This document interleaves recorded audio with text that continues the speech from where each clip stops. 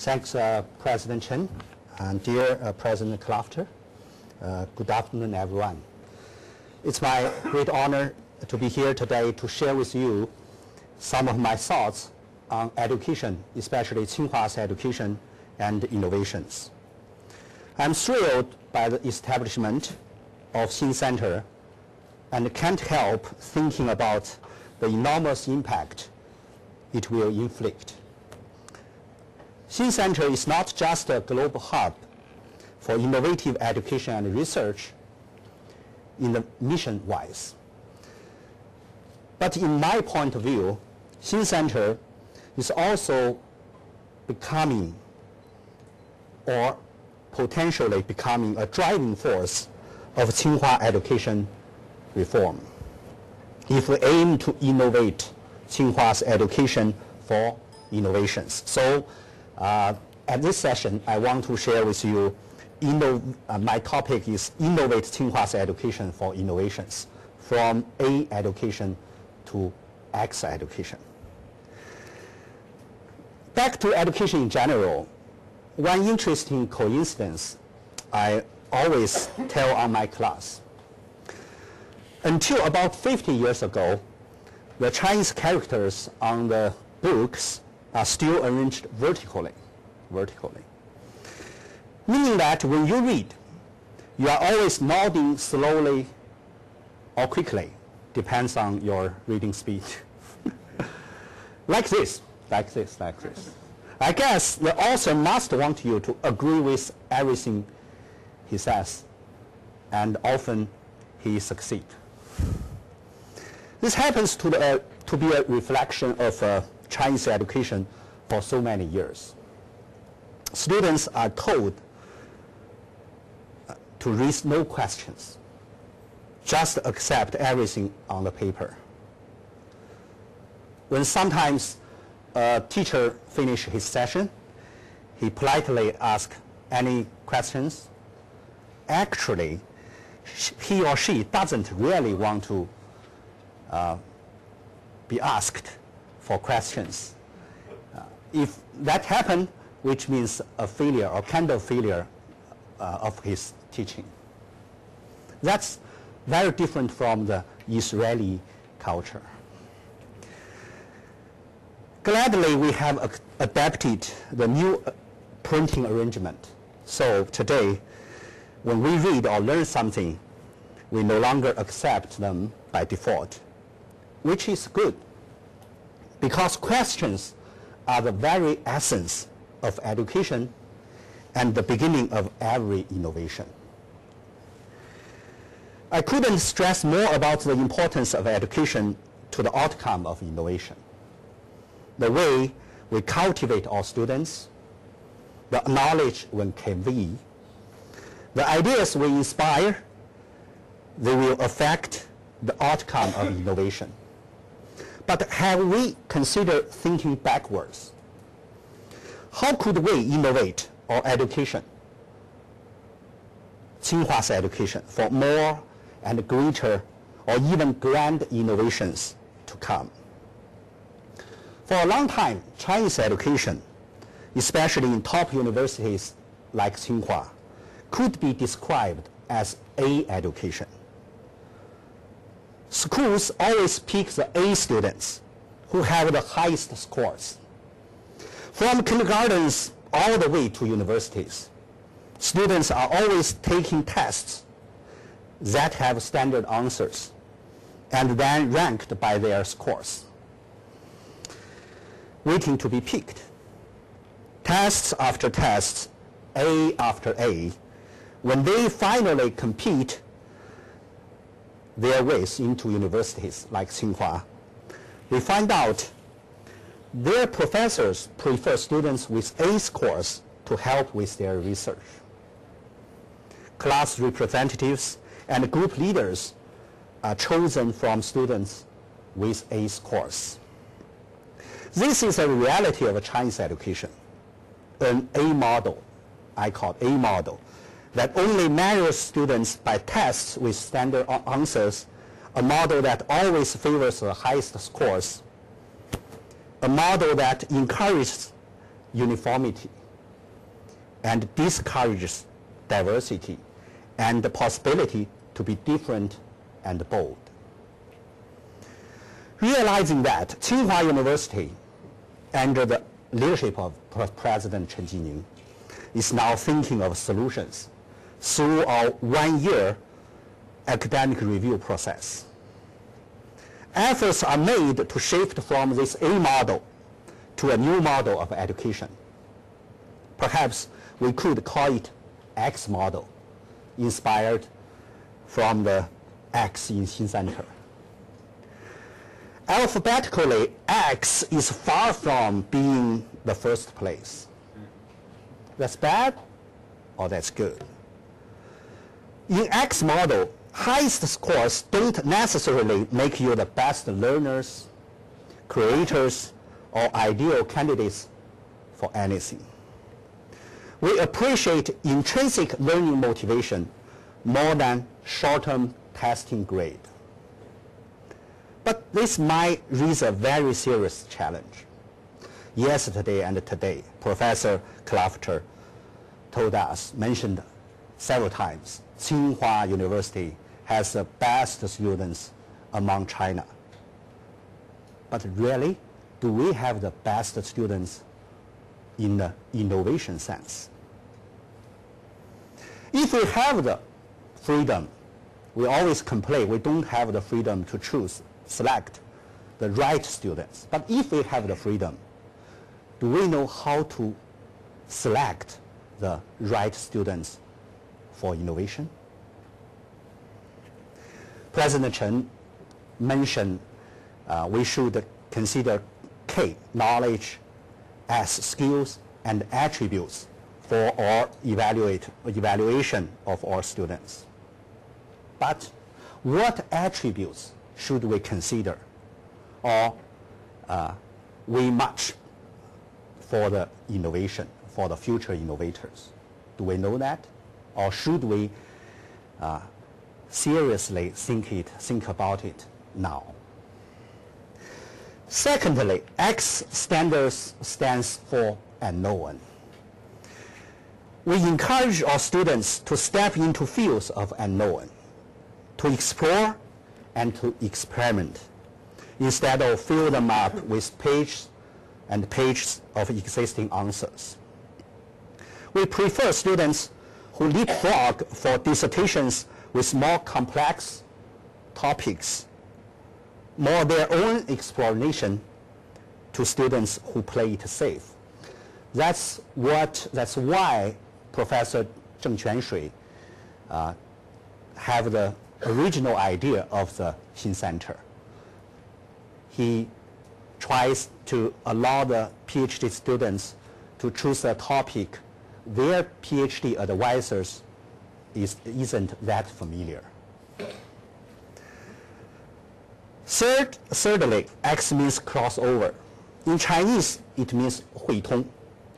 There is a traditional saying among old generations of Tsinghua years that students in their studies must achieve three crossovers, of the, including crossover of arts and science, of the Eastern and the Western, of the ancient and the contemporary. In X model, we expect our students today to achieve various crossovers of such too. Apart from cross-disciplinary study, we also encourage our students to immerse in cross-cultural communities. When we say cross-cultural communities, you may guess we try to make the arrangement that the students live with or live among the foreign students that's too hard, that's too far. Let's do a simple way. Where students of the same discipline or same department don't collectively live in one residential hall. That's the status of now at Tsinghua. But rather mix with students from other disciplines or other departments and years. Innovation happens, always happens between different cultures and crossovers. So let's do from the residential arrangement. Fourth, X also means connective and interactive. In addition to a diversified living community, X model expects the class community to be full of crossfire between individual students, between groups and teams, as well as between professors and students. Students are no longer the passive receiver of everything said by professors. We call the saint on the stage. But an active and integral part of the learning process, as well as the contributor of the knowledge acquired. So the fourth means connective and interactive. Last but not least, X represent crossing off, delete, or disruption. to innovate, we must sometimes be ready to cross off and destroy the entire existing system. X model inherits the spirit of disruptive innovation and encourages students to value authority of idea instead of the idea of authority. In other words, the students shouldn't be afraid of challenging the current authority. When it comes to ideas, professors, students, we are all as innocent and equal as newborn babies. As you can see, X has raised so many new questions for future China, Chinese higher education. How to identify and admit ideal or right students. How to enhance their att attribute of confidence, independence, ethics, and curiosity. How to best facilitate their potential to become the next, next innovators. At Tsinghua, in recent two years, we have tried some of these changes, like XLab, for students' creativity through ideas, innovations, and implementations. And Xuetang X for online education, and MBA Plus X for integrating the MBA program and other master programs, and so on and so forth. Now we have Xin with X, and we are going to have more X, X. Xin Center is another example of Tsinghua's commitment in educational reform.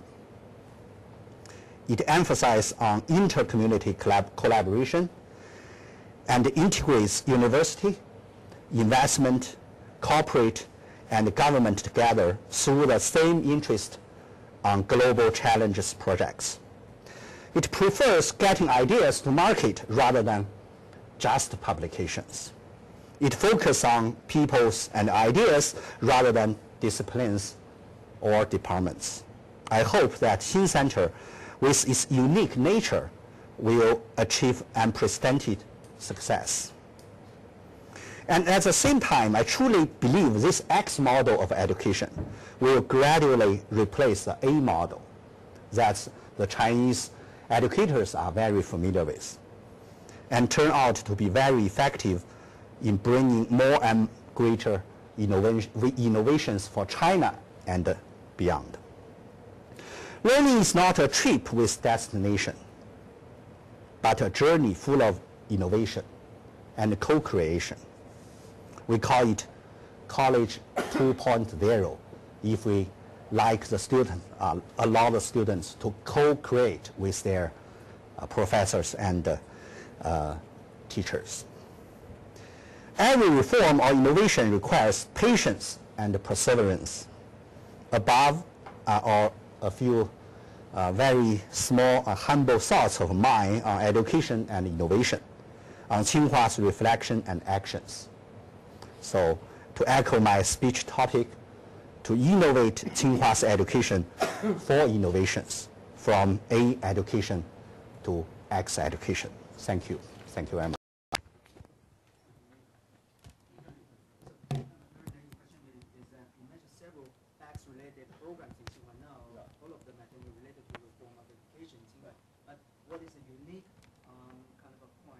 program compared with others that can be complementary other than, you know, um, repeating the, the similar uh, mechanism. So what is the unique thing in Xin product? One unique point is uh, Xin Center uh, is including PhD students uh, within the research uh, ground uh, challenging projects.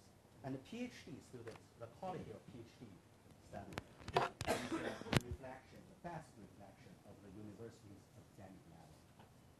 That's a very key of the Xin Center. So how we let the Xin Center, like uh, Professor Zheng always mentions, uh, the PhD students can decide their own research topic.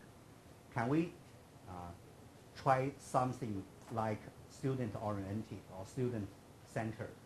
That's a Xin's uh, very special feature, uh, not very different from the XLab or other things.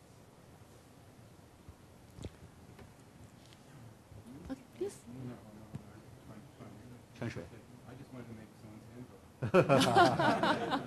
Thank you. That's, that's, some uh, related to the question of. So, uh, have you any suggestion uh, to link those efforts? Now we are the PhD and uh, also how to integrate those efforts. Because uh, as I understood, so the Jewish culture, that's starting from just the, ba- the base of the kids. So the innovation is not, uh, that's change a lot of things. So have you any suggestion how to integrate? For all the X uh, activities at Tsinghua now, uh, all of them have the very same or very similar motivations. Uh, try to research and know it, and also to do it cross-disciplinary uh, or departmental uh, silos. That's uh, two things. They, they are very uh, common. So maybe we should organize some X committee and to let to to maybe uh, let all the X activities to have some synergy together. Yeah. Uh, Last question. last question. Survey. It is a comment, not a question. Sure. You, you talk about the PhD stuff. Yeah. And this morning we talk about a lot of introduction, you know, commercialization. But we know that it is going to be difficult to balance these two. PhD, we need to put a science-based, Sure. Most likely, this science-based is not easy for, or, or is not ready for commercialization. Right. So just, you know, maybe we have considered that why we balance those two and it. In China, there is another, or lots of degree. We call not PhD degrees. we call it uh, Doctor of Engineering. That's actually, I, I always think about it. It's a, maybe a special advantage of Tsinghua University to use a Doctor of Engineering to do something more related with the industry. The, please. Then- Then I just added another comment. Right. Uh, Then I Sure. in Chinese. Tsinghua's research, we all been taught the intended. Right. You know, you really change the, you know, talk about Tsinhua research has been very top, in other words, in to sky. World standard. Cutting edge research, Mhm. that's what we encourage. But meantime, we want to stand on the ground. So Stand on ground means uh, to, to uh, answer the uh, urgent demand of the nation. Yeah. So, so means a lot of change. I, I, I, I, when, when I studied the Chinese and Israeli or Jewish cultures, I see the golden mean or the in the middle way or balance, something like that. So if we want to accomplish both, we have to do or to find out some, you know, golden mean, yeah, between that. Thanks, thanks. Thank you very much for questions and discussion.